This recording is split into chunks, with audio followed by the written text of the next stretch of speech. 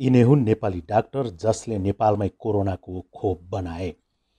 विश्व स्वास्थ्य सङ्गठन डब्लुएचओले हेटौडा स्थित त्रिभुवन विश्वविद्यालय वनविज्ञान अध्ययन संस्थानको प्रयोगशालामा कोरोना विरुद्ध निर्माण भएको भनिएको औषधि तथा प्रयोगशाला सम्बन्धमा चासो लिएको छ।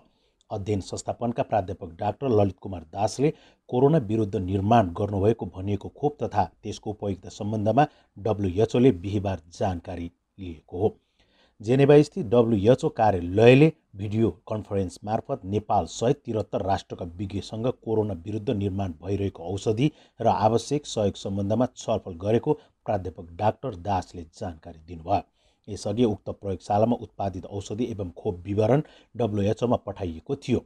अध्ययन संस्थापनका प्राध्यापक दामोदर गैरेको सहयोगमा डब्लुएचओमा लिखित जानकारी पठाइएको र छलफलका लागि प्रयोगशाला छनौट भएपछि भिडियो कन्फरेन्समा डाक्टर दासको समूहलाई छलफलमा बोलाइएको बताएको छ। करिब दुई घन्टा लामो छलफलका क्रममा औषधि बनाउने विधि विषयमा प्रश्न सोधिनका साथै विभिन्न सहयोगका सम्बन्धमा समेत छलफल भएको प्राध्यापक गैरेले जानकारी दिनुभयो। सर्वप्रथम नेपालको सम्बन्धित निकायले खोपको परीक्षण गर्नुपर्छ त्यसपछि डब्लुएचओसँग त्यसको प्रभावकारिता मूल्याङ्कनका लागि पहल गरिने बारे कुराकानी भयो प्राध्यापक गैरीले भन्नुभयो। उक्त खोपको परियोजना स्वीकृत भएमा पाँच लाख अमेरिकी डलर ट्रायल फन्ड प्राप्त हुने बताइएको छ।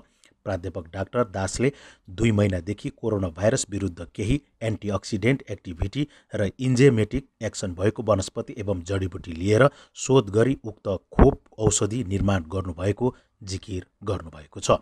यी न्युज नेपालीमा छापेको छ।